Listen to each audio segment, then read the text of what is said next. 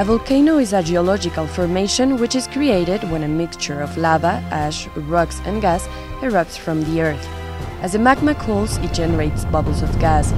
If the magma is light, the gas will form a plume and escape without danger.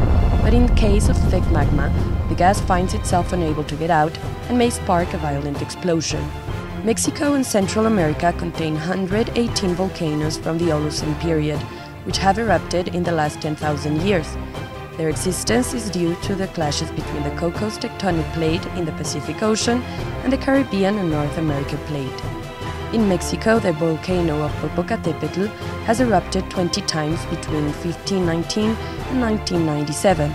The eruption of Santa Maria in Guatemala in 1902 was one of the four largest of the 20th century. Other volcanoes with regular activity include Arenal in Costa Rica, Cerro Negro in Nicaragua, and San Miguel in El Salvador.